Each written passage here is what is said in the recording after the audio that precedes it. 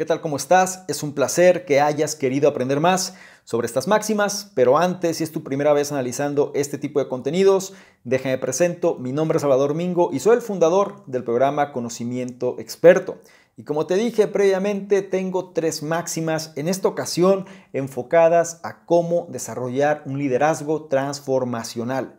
Es decir, un liderazgo personal fuerte que genere influencia en tu entorno. Y para esto nos vamos a apoyar de personas como Simon Sinek, John C. Maxwell y Tim Irwin.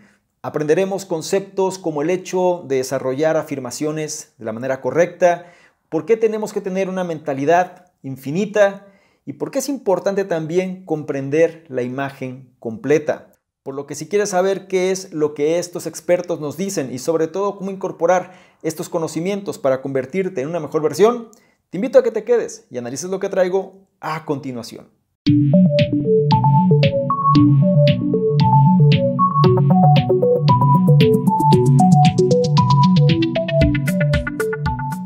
Máxima número 1. La afirmación efectiva fortalece los valores más profundos de las personas especialmente cuando utilizas las palabras correctas. Ha habido una gran cantidad de debate filosófico durante milenios sobre lo que define el núcleo de una persona. Algunos han afirmado que es la mente, otros han argumentado que es el corazón, mientras que otros todavía han sugerido que es el alma. El jurado todavía está en esa pregunta, pero aquí hay algo que sí sabemos donde sea que esté el núcleo, es donde residen nuestros valores más profundos. Eso es algo que los comunicadores efectivos saben. Cuando buscan afirmar a otros, hablan de sus valores más preciados. Pero antes de analizar cómo lo hacen, hagamos una pausa por un segundo y preguntemos cómo se forman esos valores en primer lugar. Esencialmente hay dos procesos en el trabajo aquí, autorreflexión y la influencia de otras personas. Esto último es especialmente importante ya que es solo en contextos sociales que encontramos que nuestros valores son afirmados o contradichos por otros. Para ver cómo funciona, tomaremos un incidente ficticio en el lugar de trabajo. Digamos que has resuelto un conflicto entre colegas de manera positiva y respetuosa. Tu jefe te dice que demostraste una gran integridad en el manejo del problema y que esto se refleja bien en tu carácter. Lo más probable es que vas a actuar de la misma manera de nuevo, ¿verdad? Bueno, eso se debe a que tus valores se han reforzado positivamente. Pero afirmar valores profundamente arraigados requiere consideración y habilidad para elegir las palabras correctas. De hecho, hay un par de conceptos clave que son esenciales para comunicar tu afirmación hacia los demás. Por un lado, armarse de valor. Imagina el siguiente escenario. Uno de tus empleados está negociando con el presidente de otra compañía. Este último está dispuesto a impulsar el acuerdo lo más rápido posible, pero han hecho declaraciones engañosas o falsas en el papeleo. Hacer frente al presidente requiere una gran cantidad de coraje para el empleado, y eso es algo que debes afirmar. Simplemente decirles que han hecho un gran trabajo al final del proceso no tendrá el mismo efecto que reconocer su fuerza de carácter al lidiar con esta difícil situación. Otra palabra clave es humildad. Si ves a alguien que comparte elogios por un proyecto exitoso con sus colegas en lugar de acaparar la atención, asegúrate de afirmar ese comportamiento. No olvides la máxima, la afirmación efectiva fortalece los valores más profundos de las personas, especialmente cuando usas las palabras correctas. Máxima número 2. El mundo de los negocios no es un juego finito, por lo que los líderes empresariales deben adoptar una mentalidad infinita. Cuando practicas deportes, hay muchas reglas que debes cumplir. Algunas de las reglas más importantes son que todos los que juegan el juego acuerdan cuándo comienza y cuándo se detiene, cómo anotar un punto y que el factor decisivo sobre quién gana es quien tiene más puntos al final. Esto es lo que se conoce como un juego finito. Al contrario de lo que mucha gente piensa, los negocios no son un juego finito. No hay horarios de inicio y finalización en los que todos los jugadores estén de acuerdo. Y si bien hay ciertas reglas legales que se les dice a todas las empresas que sigan, lo que los jugadores hagan dentro de esas reglas depende de ellos. El mundo de los negocios es, de hecho, un juego infinito. No hay un marco de tiempo fijo ni una forma acordada de llevar la cuenta.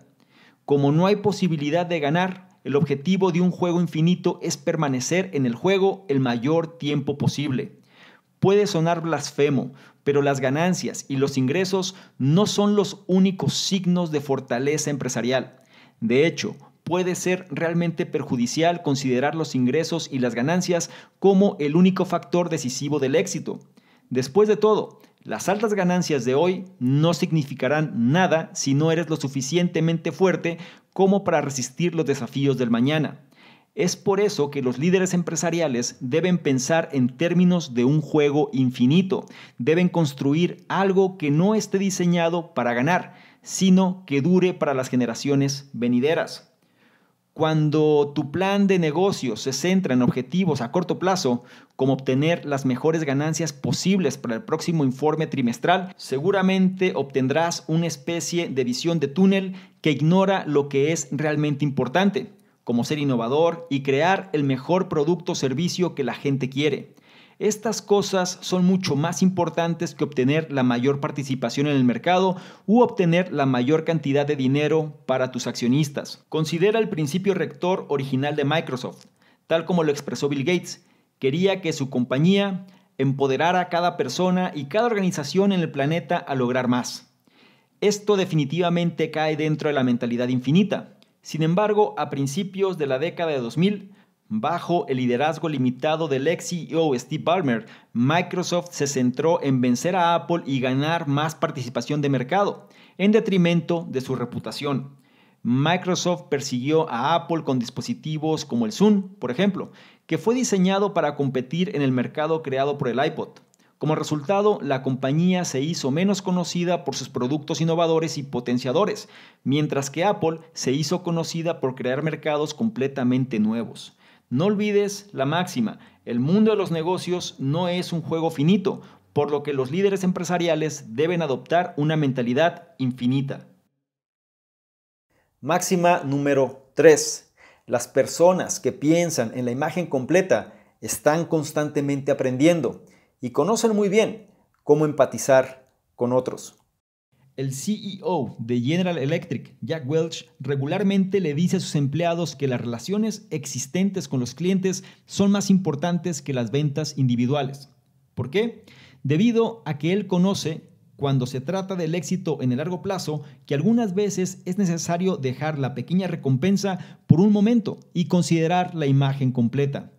Pero, ¿cómo puedes cultivar el pensamiento de la imagen completa? por medio de asegurarte que tú estás siempre aprendiendo. Las personas que piensan en la imagen completa siempre están viendo por oportunidades para aprender. Están siempre en movimiento, visitando nuevos lugares, conociendo nuevas personas y mejorando sus habilidades.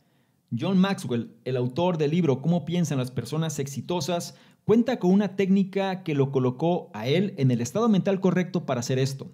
Él empieza su día por medio de mirar su agenda y se pregunta a sí mismo qué oportunidades de aprendizaje presentan estas actividades. Una vez que él tiene claro las actividades que más probablemente le enseñan algo, él mentalmente se vuelve mucho más alerta, lo que significa que él está mucho más receptivo respecto a lo que sucede a su alrededor y se prepara para ello. Eso es algo que tú puedes hacer también. Pasa un par de minutos cada mañana revisando tu itinerario y preguntándote qué oportunidades para aprender nuevas cosas son las más probables. Hacer el esfuerzo para convertirte en una persona que piensa en la imagen completa es importante porque te da una ventana sobre cómo otras personas ven el mundo. En otras palabras, te hace más empático. Y eso es bueno para tus relaciones, ya sea con tus clientes, tu pareja, tus hijos, empatizar con aquellos que te rodean, te ayudará a entender qué es lo que ellos quieren y necesitan.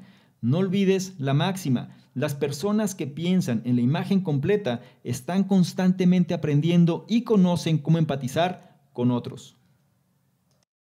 Estas fueron tres máximas del programa Conocimiento Experto, en esta ocasión enfocadas a cómo desarrollar un liderazgo transformacional. Es muy importante que tú comprendas que si quieres ejercer una influencia en tu entorno, más vale que empieces a aportar valor sobre lo que tienes control. Y para esto es importante ser una mejor versión. Me gustaría mucho conocer tus comentarios al respecto. ¿Cuál es la máxima que más resonancia tuvo contigo y sobre todo que vas a llevar a la práctica? No olvides que el conocimiento pasivo de poco sirve. Es importante implementarlo si es que queremos alcanzar mejores resultados. Por otro lado, si esta información la consideras de valor, no se te olvide evaluarla y compartirla porque de esta forma nos ayudas a llegar a una mayor cantidad de personas que también pueden beneficiarse de este tipo de contenidos. No se te olvide revisar en la descripción los enlaces que ahí aparecen porque te van a llevar a nuestros diversos programas, incluido el reto 60-100. Este reto donde te llevo la mano para ajustar tu estado mental y seas una mejor versión. Es gratuito, no lo olvides. Y por último y no menos importante, si quieres que interactuemos de una forma más dinámica, ¿por qué no le tomas una imagen, un screenshot a este contenido y te vas a Instagram, me buscas arroba y colocas esta imagen en tus historias?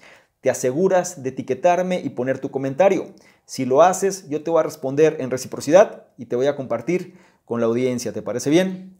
Espero que sí. Te recuerdo mi nombre, soy Salvador Domingo, soy el fundador del programa Conocimiento Experto y yo te espero en una siguiente sesión de Máximas.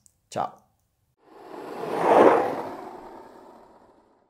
¿Qué tal? ¿Cómo estás? Por acá Salvador Domingo, un placer que estés revisando este contenido te voy a explicar precisamente qué consiste esta membresía del canal conocimiento experto. Son tres niveles. El nivel número uno, miembros estándar, son personas que quieren tener una comunicación más directa. Es decir, actualmente recibimos muchos comentarios, dudas, preguntas, etcétera, y es difícil responder a todos. Por ende, vamos a diferenciar las personas que tienen un interés genuino de aquellos que simplemente son curiosos y la membresía estándar es la base de ello. Las personas que formen parte de esta membresía van a tener prioridad para poder ser para que sus dudas, preguntas, comentarios sean respondidas, ¿sí? Es decir, tengan respuesta en relación a lo que están comentando. Por otro lado, también van a ser los elegidos para apoyar en la selección de los libros de la semana. Es decir, actualmente dentro de la sección del conocimiento experto están ahí de libros y vamos a priorizar a estas personas para que sean ellos los que definan cuáles serían los siguientes libros a elegir. Y por otro lado, van a ser las personas que se van a enterar más rápidamente de notificaciones, promociones, información de poder y demás que vale la pena compartir son los que van a tener esa prioridad. Eh, la membresía número dos son entrevistas con expertos, personas que quieren de alguna manera profundizar más en su conocimiento y sobre todo apalancarse de otras personas. Vamos a estar generando entrevistas con diferentes expertos, diferentes personas alineados obviamente a la metodología del canal pero que puedan aportar mayor valor todavía en relación a todo este tipo de información y las personas de este nivel son los que van a tener acceso a estas entrevistas. Y el tercer nivel se refiere a las personas que quieren de alguna manera emprender de una forma digital con un branding personal fuerte. Es decir, dentro de los cuestionamientos, preguntas y demás, las personas suelen hacer o suelen preguntar de manera incisiva de qué manera se puede emprender mejor en esta economía de la atención. Bueno, esta opción número 3 te va a permitir precisamente hacer eso, emprendimiento digital con un branding personal fuerte o bien este, esta membresía va ligada o se va a relacionar con emprendedores digitales que quieren reforzar su marca personal. Te invito a que revises los detalles y yo te espero precisamente del otro lado. Chao.